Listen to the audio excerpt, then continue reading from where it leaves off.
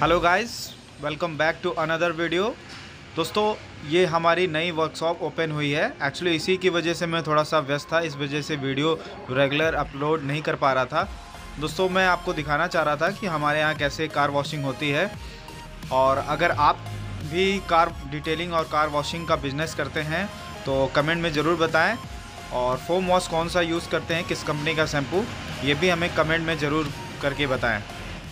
दोस्तों, अगर आप भी कार वॉशिंग बिज़नेस स्टार्ट करना चाहते हैं और उसके लिए आपको मशीन परचेस करनी है या फिर शैम्पू परचेस करना है या फोम कैनन कौन सा यूज़ करें, ये सारी डिटेल्स अगर आपको जाननी है तो आप मुझसे व्हाट्सअप पे दिए हुए नंबर पे आप मुझसे बात कर सकते हैं। मैं आपको सारी जानकारी दे दूँगा और जो भी मेरे तरफ़ से हेल्प हो सकेगा, मैं आपके लिए ज़रूर करूँगा।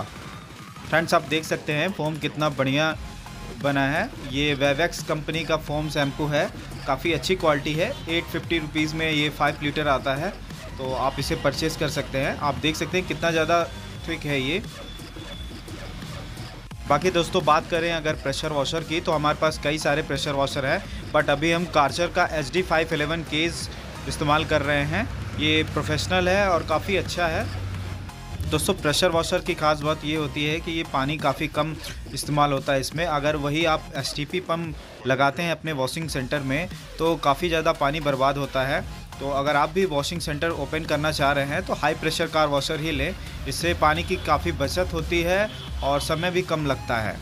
दोस्तों, आप सभी कौन सा प्रेशर वॉशर यूज़ करते हैं? कमेंट में ज़रूर बताएँ। दोस्तों, हम लोग कार को ड्राई करने के लिए सेमोइस क्लॉथ का यूज़ करते हैं। ये काफ़ी अच्छा क्लॉथ होता है। इससे काफ़ी जल्दी कार ड्राई हो जाता है और इसकी ख़ास बात यह है कि बहुत ज़्यादा पानी एब्जॉर्ब करता है ये। दोस्तों, वीडियो को देखने के लिए धन्यवाद। मिलते हैं अगले वीडियो में। आपको वीडियो कैसा लगा? अगर अच्छा लगा हो तो प्लीज़ चैनल को सब्सक्राइब करना ना भूलें।